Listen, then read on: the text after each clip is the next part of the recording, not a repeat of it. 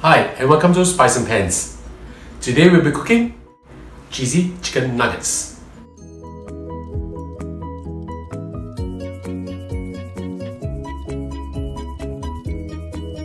So let's start cooking.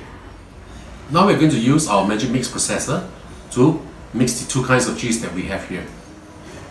I'm going to put in 80 grams of mozzarella cheese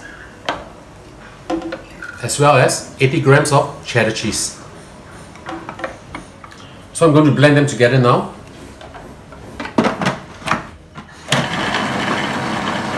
And now it's done. This is how it looks like. Now we'll blend the chicken. Now I'm going to blend the chicken. There's 350 grams of chicken thigh. You can use chicken breast if you want to. Put them in. Half a teaspoon of mixed Italian herbs. 1 teaspoon of crushed black pepper. 1 teaspoon of salt, 1 teaspoon of fresh ginger juice. Put the lid on and we'll blend it now. So it's done now. Let's have a look. This is how it looks like. And now I'm going to show you how to put the cheese inside this blended meat. I've divided the meat mixture or blended chicken meat into 15 equal sizes like this and the cheese also. Make sure you pack the cheese in like this, otherwise um, it will be very difficult to actually put the fillings into the chicken meat.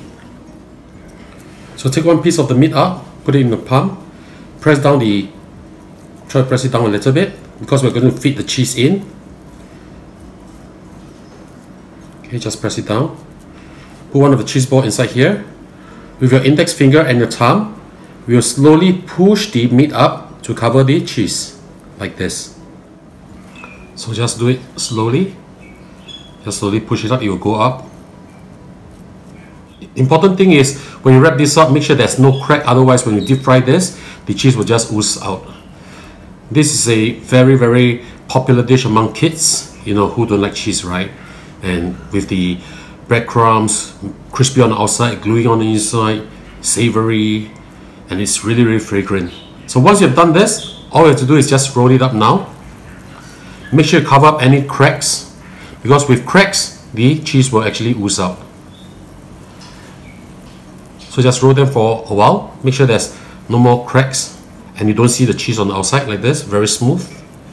Okay? If you like it to be in the shape of balls this will be done. If you want it to be in cube size we will do it in cubes. Just tap it down a while like this on each side of it. Simple Depending on the preference, it can be ball, it can be cubes. Alright, then we'll continue with the rest and I'll show you what we're going to do after this. Now we are going to prepare the chicken cheese cubes. We need to coat them with plain flour, egg wash, followed by breadcrumbs or panko powder before we deep fry them. Let me show you how to do it. On all sides, just slightly coat them with flour. Make sure you coat all corners or all sides of it. Okay. This will act as a barrier also that the cheese will not ooze out that easily. So after you have coated this, just shake it a little bit just to get the excess flour out. Dip it in the egg wash.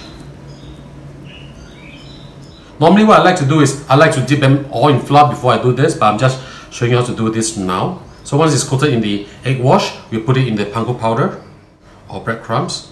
Okay. Make sure it's coated with the panko powder.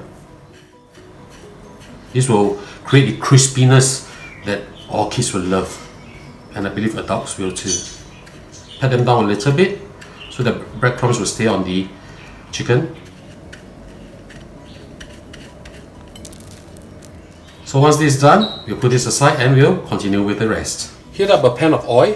When you put in your bamboo chopstick and you can see bubbles rising up, that means it's done ready. I'm using medium heat now. I'm using the La Gourmet Shogun pan for this. It's a non-stick pan very durable which I like. Once the oil is hot enough we'll deep fry the chicken cheese cube.